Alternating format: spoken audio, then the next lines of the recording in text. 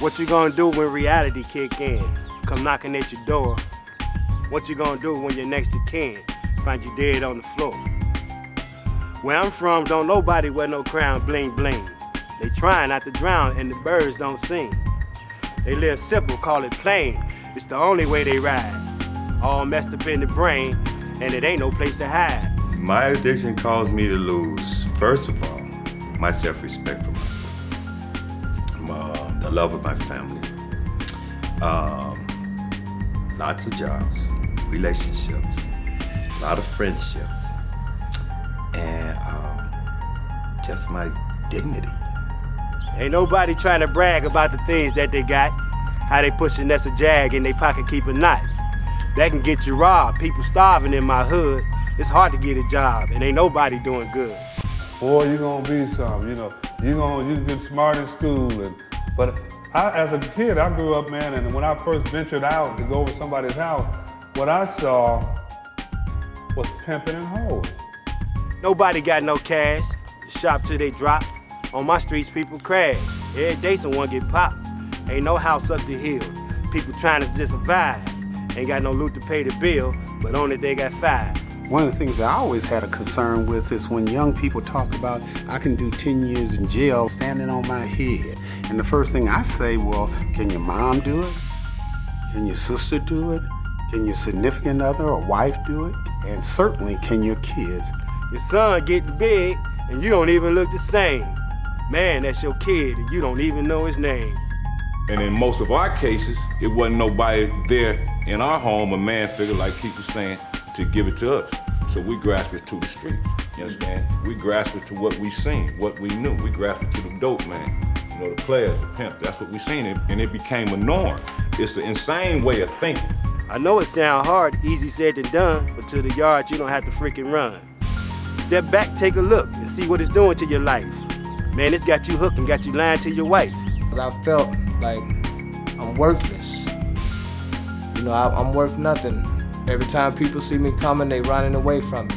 Or they making excuses not to be around me. I mean, I was a thief, con man, a habitual liar.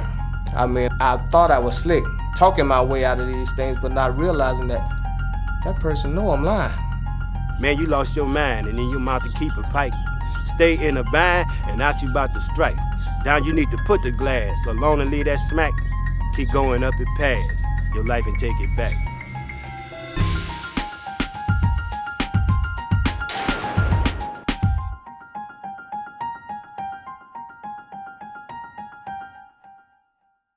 We all have something in common.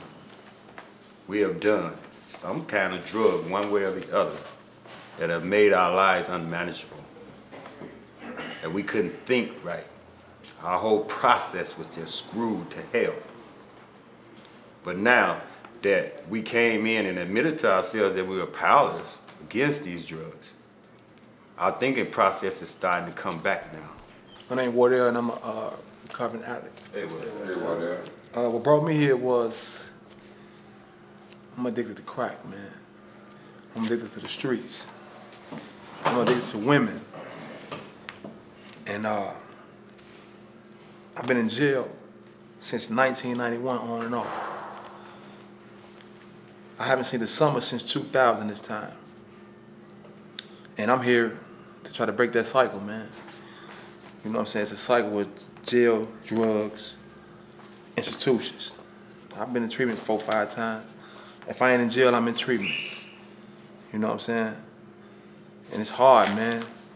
But I'm definitely, definitely not giving up on myself. I'm gonna keep fighting, man. I'm gonna keep my head up, man. I'm gonna stay strong.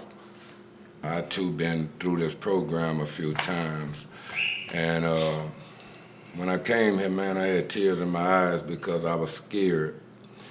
It's just about to be another one of them in and out episodes. Uh, why didn't it work the last time? What really need to be done this time? Because I don't want to never go back to where I was. I don't never want to be that person I was, you know. And then um, I was talking to, I'm dealing with this therapist lady, and, and, and I was sharing to her about some things that I went through as a child, bro. And she was telling me, you know, she said, well, You know, she diagnosed me on the fears, the insecurities, the low self-esteem, you know, the fear of fitting in and all these things. See, them the things that was directing my life for years and years and years, way before drugs and alcohol came in the picture.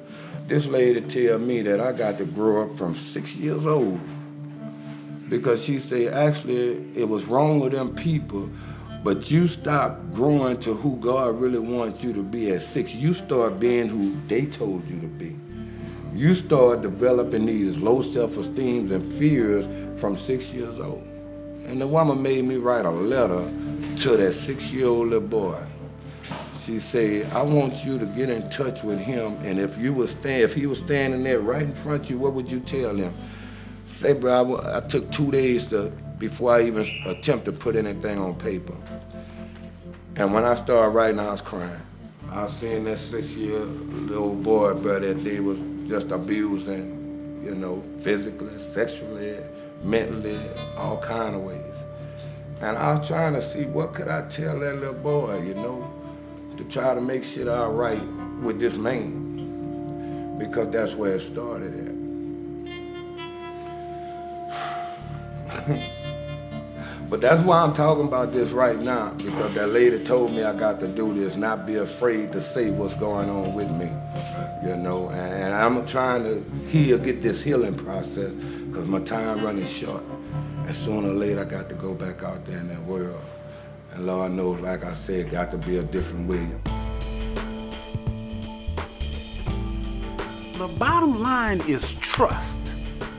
And so as a young man, a young woman, old man, old woman, you going through treatment, you've got to decide are you going to trust the process to make you a better person, which means that you will definitely be different.